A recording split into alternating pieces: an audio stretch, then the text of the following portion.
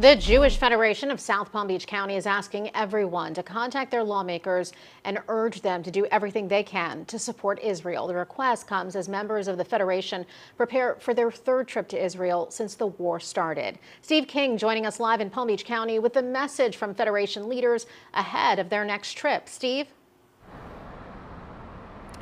Felicia, the director of community engagement for the Jewish Federation of South Palm Beach County, says even though the temporary ceasefire in Israel has ended and the combat has resumed, he can't wait to get to Israel in the next few days.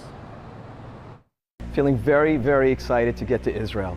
Many that go will say that there's a lot of things to be concerned about, but we know that when we hit the ground, we have so many things that we want to do. This is Rabbi Josh Brody's second trip to Israel since the war began, and the Jewish Federation of South Palm Beach County's third. He says this is all about making sure everyone in Israel knows they're not alone. But we found that there are other locations in Israel that many are not visiting. There are army bases that haven't had any visitors, but would love to see the support of their brothers and sisters here in the United States, and specifically bringing love and hugs from Boca Raton.